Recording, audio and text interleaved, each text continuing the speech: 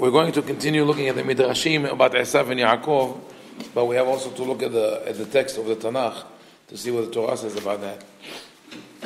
So, we know that uh, when Yitzhak tells Esav, I want to give a bracha, Rivka calls Yaakov and says, you go and you take the bracha. And I raised, we raised the question last time, why didn't she tell Yitzhak outright, I think that Yaakov is the one? And why didn't she ever tell him about the prophecy? And I said, we said probably it's because she felt that she wouldn't be listened to, and so she she would rather do it this way. Um, now the question is, what, what was Yaakov's reaction? Was Yaakov willing or unwilling to do that? So it's obvious from the pasuk that his first reaction was uh, was negative. He said, "I don't want to do that." Why? He says, "In Asavahi ish sa'ir, v'anuchi ish halak." He says, "I'm my skin is smooth, my my brother is hairy." If he says, "Ulay musheni avi." Veti beanav kim tartha He says, if my, if my father feels my, my, my body, if he just touches me, he will know that I'm uh, trying to deceive him, and I will get a curse instead of a blessing. It's a very rational argument. The rabbis took it to the Midrash to a deeper level, and they say, Ulai yemusheni avi, they read, Halevai yemusheni avi.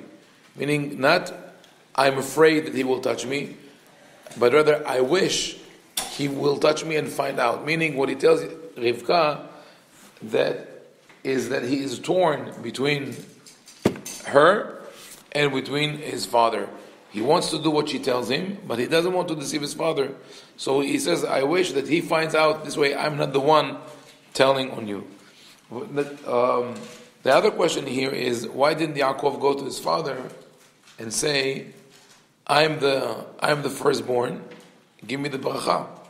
Right? He should have told him, if you already, I mean, not I'm the firstborn, meaning I bought the right of the firstborn for myself. so I want the blessing as well. So one of two things: either he felt that whatever he did with with Esav would not would not go well, would not sit well with Yitzhak. Yitzhak would not be happy with that because you cannot sell the right of the firstborn. He more he did it as just to to see um, Esav's intention, or that the Bechorah and the Beracha were not related. The Bechorah, the right of the firstborn, was something that would only be realized when Yitzhak dies, and that's about inheritance. It's not about the baracha. The, the, blessing is not the blessing of the firstborn. This is we, we, we usually associate it with that, but it has nothing to do with that. It's Yitzhak chooses what to bless Esav with and what to bless Yaakov with, and he wanted this specific blessing, which would make him the leader. This is what Rivka had in mind. Had nothing to do with the bechorah, with the right of the firstborn. That's why he doesn't tell his father ever, I purchased the Bechorah and therefore I deserve the blessing as well. And that's why also Isav, when Isav finds out that he's being deceived, he said, he tricked me twice. He took my Bechorah, the right of the firstborn, and now he took the Beracha as well. Meaning there are two separate issues. It's not the same thing. So his mother says, no, listen, don't worry, your curse will be on me. I'm the one to, I, if there would be a curse, I will carry the burden of the curse. And again, this is something that the Midrash notes that uh, she says, Alai, your curse will be on me. The word is that he, she uses is Alai. Many, many years later, when Yaakov reflects on his life, he says, Alai hayu kulana. It was all on me. What is kulana? All, all these, he says, Yosef was taken away from me. Shimon was imprisoned by the viceroy, which he didn't know was Yosef. And now you're going to take Binyamin. Alai kulana. All these uh, curses, losing my children, it's, it all came on me. So one of the commentators on the Midrash says this is a reflection of what Rachel, of what Rivka says. Rivka told him, Don't worry, the curse will be on me.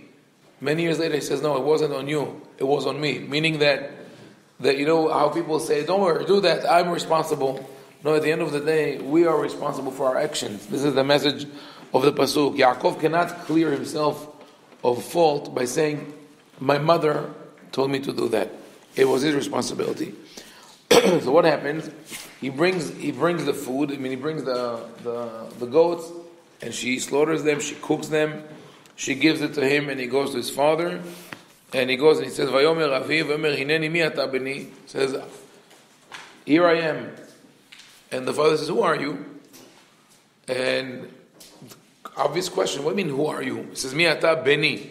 Right? Who are you? My son. Why would Yitzhak think that this is not Esav? He told his, he, he, called about an hour ago, two hours, we don't know how long it took, maybe two, three hours, right? He called his son Esav and he says, Go, get me, uh, go for some game and get me uh, food. And now someone comes into the into the tent with food. It smells delicious, and he says, "Father, why would it be Yaakov and not Esav? Obviously, it's Esav. Why the question? The voice, right? So Yaakov says, "I am Esav, your firstborn. I did as you told me. Please get up and sit and eat what I brought you."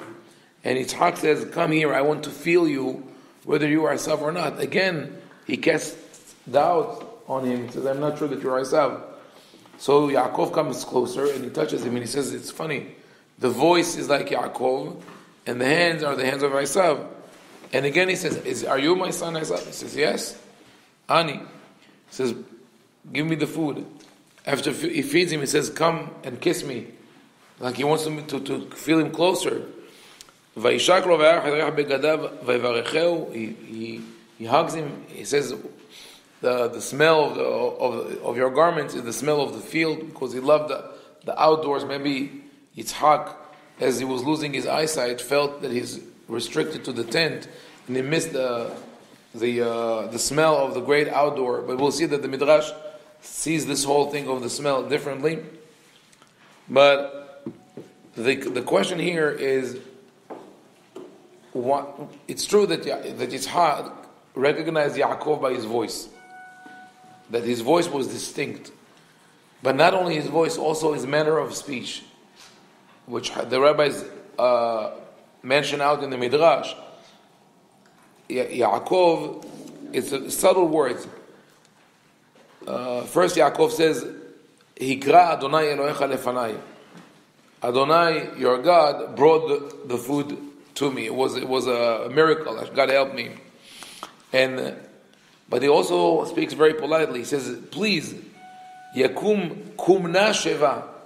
Please rise and, and, and settle down in a way that you're comfortable eating." But when Isav comes in, Isav says, "Yakum avi ve'ochal mitzed beno ba'avur tevarachani nafshecha." Right? Yakum avi, like get up and eat. Ba'avur tevarachani nafshecha. So subtle differences. The question, the real question is, Esav and Yaakov grew up together for years, and they were twins. Probably had a similar voice.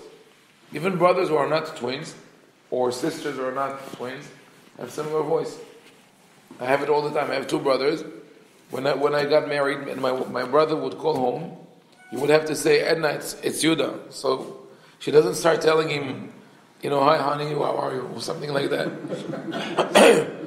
Because several times she says, "Oh, hi." so, so would be very easy for Yaakov to imitate Esav's voice and his manner of speech. He knows exactly how he talks. Very easy for brothers, easier for twins. Why didn't he do that? I think the answer is the same thing that he tells his mother. What if, what if, my, what if my father finds out? And the rabbi said he wishes he wishes that, he, that he, his father finds out. Yaakov got stuck in between his mother and his father. His mother wants him to trick his father, and he feels that it's a dishonest thing to do. He cannot defy his mother. So one, one option is to go in and go to his dad and says, Abba, it's not me. I mean, it's not Esav. The truth is I'm Yaakov. But mom forced me to do it. Right? That could have worked, except for Rivka, probably just as she heard when Ishaq was talking to, ya- to Isav, how did she hear?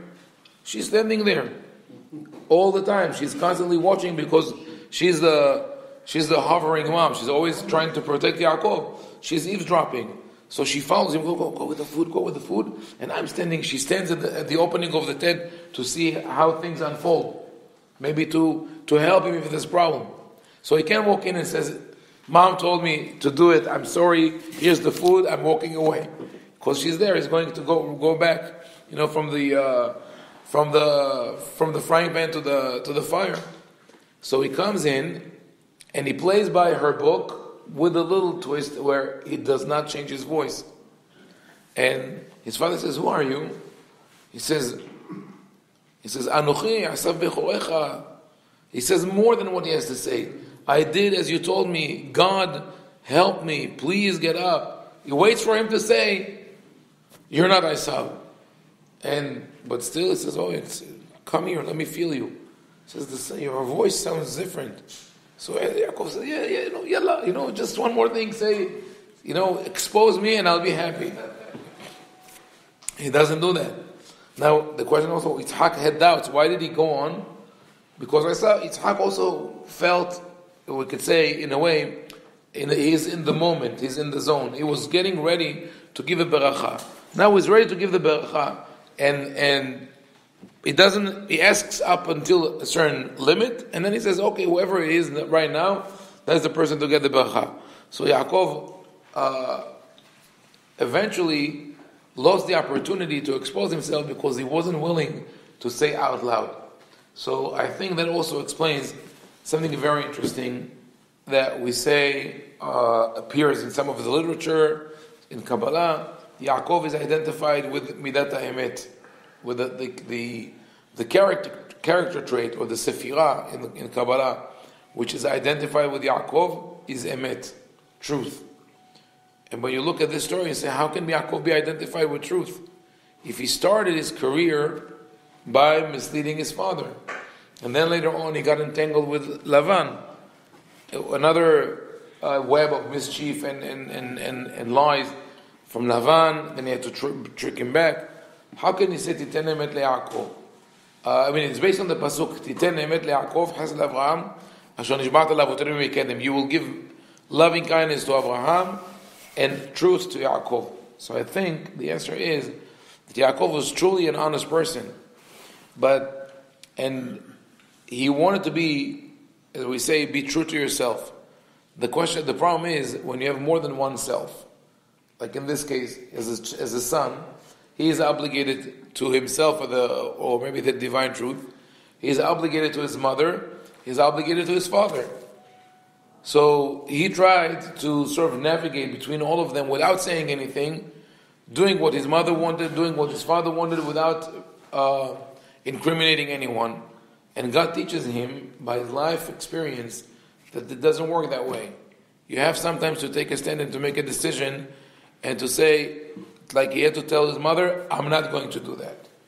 Or after he, she sent him in to tell his father, I'm not Esav, I'm Yaakov. The moment he didn't say that, everything started rolling against him. You realize Yaakov's life was not happy. He had to run away from his brother. He lost the opportunity to be with his mother and his father. His father in law cheated him in the same way that he cheated his father. And every time Yaakov runs into one kind, one of these deceptions, the the concept of clothes, of garments, and of goats resurfaces. Because he cheated his father by dressing up, right? And by bringing goats. Now, the word beged in Hebrew, cloth or garment, comes from the same root as bagad, to betray. So, betrayal and clothes are related for the very simple reason that we could deceive people by dressing in a in a different way, right? You put a uniform, you're a policeman. You put a, a cloak, you become a priest or, or a rabbi, whatever it is. So, yeah, what happens? The, the next deception that we find, Yosef's brothers throw him to the pit. He disappears, and then they slaughter a goat and they dip the garment in the blood and they send it to Yaakov, like saying, There you go. You deceived your father with the garment and with the goats. We deceive you with the garment and the goat. Then later on, Yehuda uh, breaks away with his brothers because of this whole story. We'll get there. And then he is enticed by Tamar, his daughter-in-law, and she dresses up. And what does she take? What does she say will be the the payment for her services? A goat. Again, the the, the garments and the goats. When eventually the brothers come to visit Yaakov, Yosef, they don't recognize him because he dresses differently. So all through his life, Yaakov gets reminders saying what you did was wrong, and you have to make up for it. So it's a message to us that, as we say, when we have such a dilemma, we can't we can't avoid it by not taking a stand. One thing must be done uh, in a in a decisive manner. Um, finally, will, now that we spoke about begadim, I'll, I'll, mention this midrash. It's an interesting midrash that the begadim that Isav had, the special begadim uh, that Rivka kept at home, is called Bigdei Isav Benah Hamudot, were they said that he had precious clothes. They were so precious that Rivka's mother kept it at home. So according to the midrash, those were the, were the garments that he stole from Nimrod Nimrod, in turn, stole them from Cain, who got them from Adam. Adam got those, uh, first, Adam Arishon got those garments from God. There's a kotnot or, when Elohim made for Adam and Ishto kotnot or v'abishem, were made, made of leather or, or hide, it's not clear. Um, so the message in the Midrash, Midrash says when, when, when uh, Yaakov came in and Esav, uh, Yitzhak, smell these garments, he says, the, the smell is like the field of God. He meant Gan Eden, because the smell of Gan Eden was there. But I think also symbolically, it means that the, the sin of Adam Arishon was also deception. There was, it was self-deception. Adam and his wife deceived themselves by saying, we're doing the right thing, without acknowledging that they're really falling for their desire. And what do they get as a as a so what so what Adam and his wife got as a as a result they got a beged to to uh, symbolize that they're having uh, they covering up for their betrayal with begadim. But God says don't use the regular beged. The regular beged, like I said, comes from the word betrayal. He makes for them kutnot or. Or is hide, but also skin. Like it's the, the message is that we should be honest and transparent because it becomes like a second skin, becomes your real person. You're not covering up for your personality with your garment. So at the end of the day, the message here is that we really have to be honest and speak truth.